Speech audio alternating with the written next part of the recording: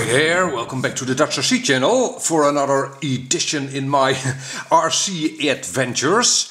And in this video I'll be taking a closer look at this uh, TFL Racing Pursuit uh, speedboat. Now, um, yeah, it doesn't fit in shot. That's okay though for this video because we'll be going over the assembly of a boat like this. Um, this video will probably be mostly for people that haven't raced boat, boats like this. Um, it is a competition style of uh, a speedboat and uh, yeah, if you're not familiar with how to set up a boat like this, uh, well, then this video is for you. Now, um, let's take the lid off and take a closer look inside of the boat. Okay, now that we're looking into the hull of the boat, uh, the one of the first things you see is this sticker over here, which says a warning, please check the lubrication on your drive system before running. And um, you come across all kinds of warnings on RCs these days, but this is really an important one.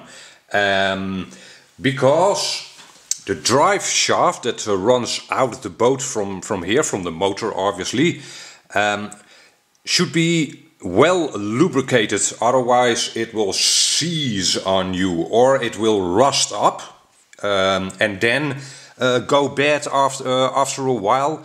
So uh, what I generally do is uh, remove my drive, sh drive shaft uh, after every two days or if I uh, am not going to be running the boat for, uh, for a week or so. So um, it is pretty easy to take the drive shaft off.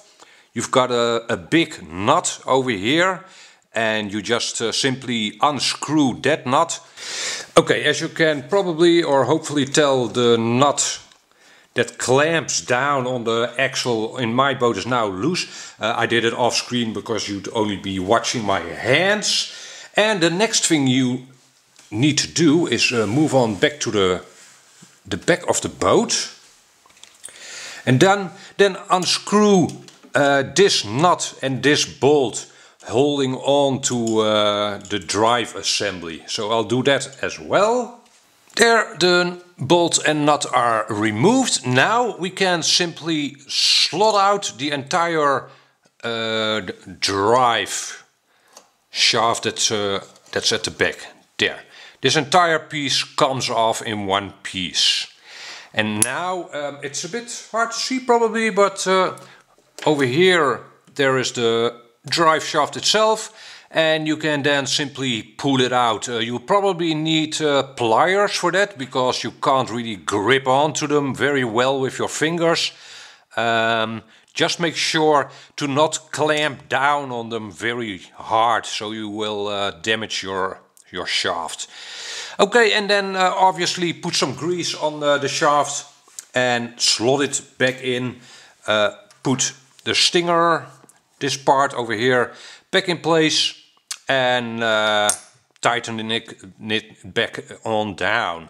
Now um, I forgot to mention that the grease also prevents water coming into the hull uh, via the, the drive shaft. So that's uh, one of the purposes of that as well.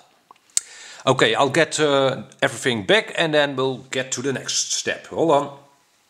Okay, once you've got that all assembled on back, uh, the next thing I suggest you do is take out this grub screw, uh, the little black one over here, and apply thread lock on that one. Uh, mine did not have thread lock on it, so that's uh, really a, a, a, grub screw that really likes to back out on itself, uh, because uh, this shaft will obviously be spinning at a high RPM. So uh, just uh, take it out and uh, apply some thread lock on that.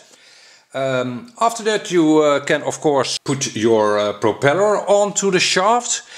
Um, however, at this point uh, there is another thing you might want to consider doing and that is putting your boat into a bathtub for like a night.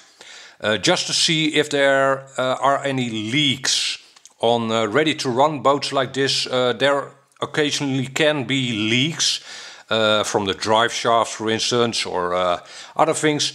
And um, well, this is a good time to uh, see if yours has leaks that uh, need addressing. So that's what I'll be doing. I'll just leave it in the bathtub overnight and see how much water gets into it and from where.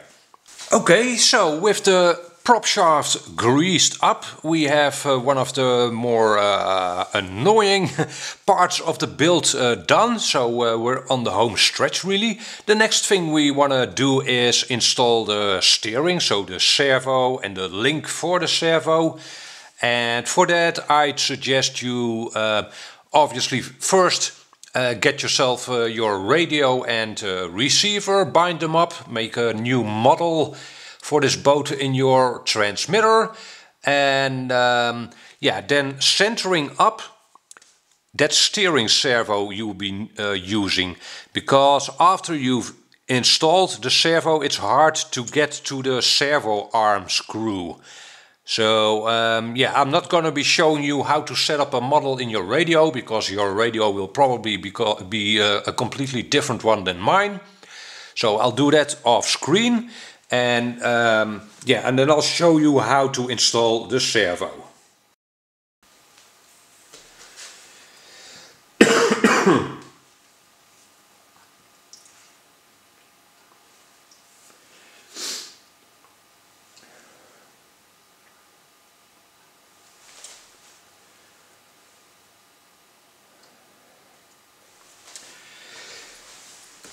Okay, so I've got my uh, radio gear set up for the boat now and um, I've got uh, the servo here and uh, as you've noticed I also have the steering rod already installed on the servo arm and that, that is what you want to do. Um, after you install the servo you can't uh, get the, uh, the control rod into the arm anymore. So first install the control rod onto the servo and uh, then you can go ahead and mount your servo.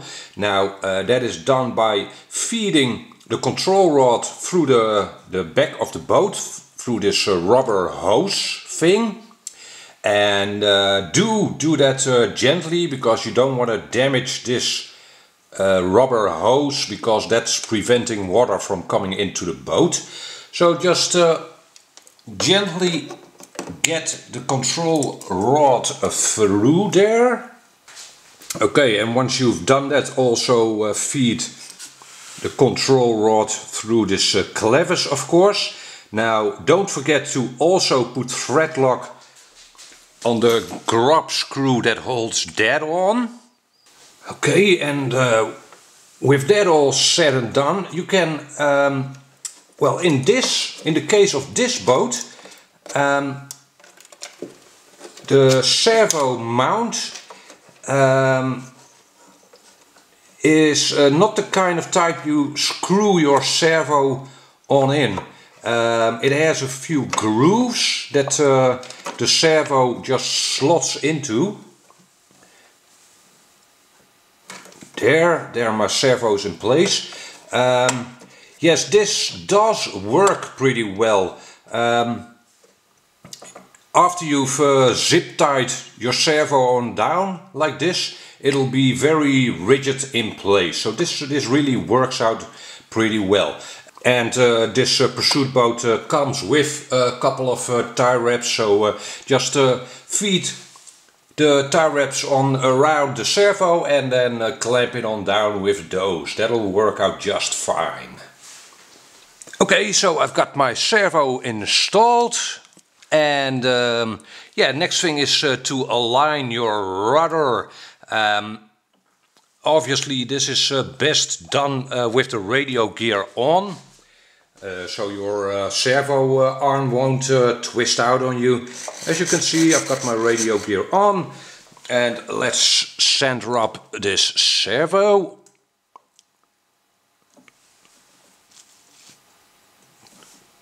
there I'm just gonna eyeball it. Again make sure you uh, put thread lock on that uh, on that grub screw.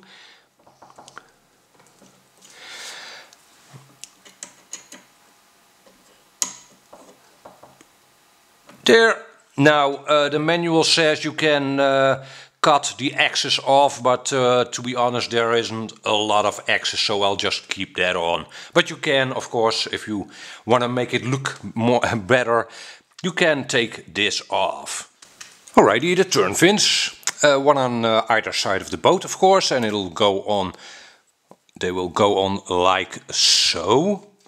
Now they are fully adjustable. You can change the angle, as you might have noticed, and they are simply held on with one screw. Um, do not forget to put a thread lock on that screw, by the way. Um, the boat will be able to run if you would lose a, a, a turn fin like this, but uh, well, I, I, can't imagine why you would want to. So just put some thread lock on that screw. Now um, I'll put them on so you can see what that looks like. Okay, the turn fin is on. As you can see, I haven't tightened it down yet.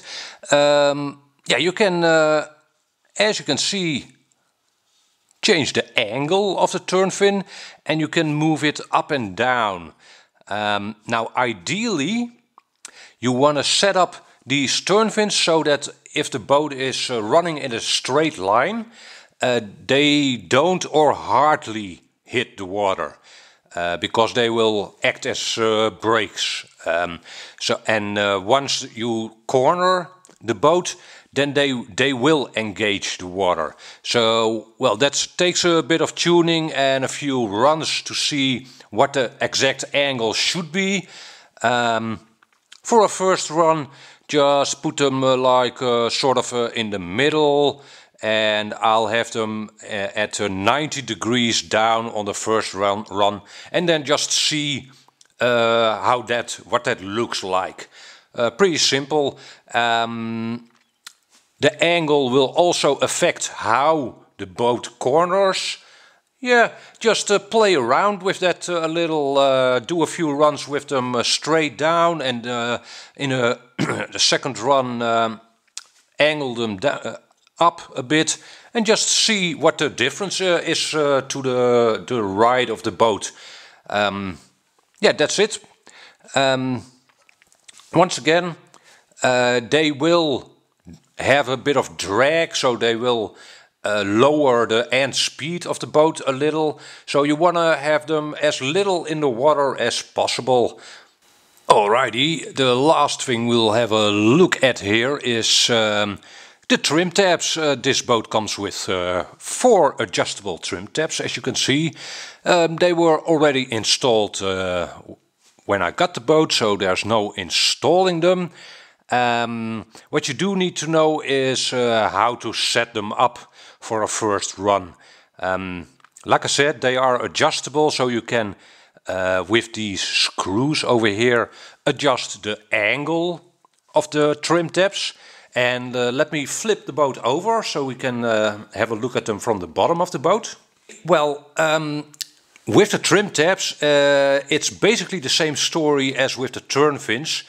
Um, I just try a few angles and I would start out with them have, being exactly level with the bottom of the boat. So just put a ruler over them like so and looks like mine are angled up slightly, just uh, just a little bit. So I'll uh, angle them a little more down for the first run. And um, yeah, if you want to know what difference it makes to the performance of your boat if you have them uh, further down or up. Just try it, simple. Uh, take uh, a few Allen keys uh, to, uh, to the pond you're running the boat and uh, do a few runs with them level and turn them a few degrees up and down and just see what happens. I might uh, go over tuning of these boats um, in another video, but this video is just meant to uh, give you a basic uh, understanding of how to set them up.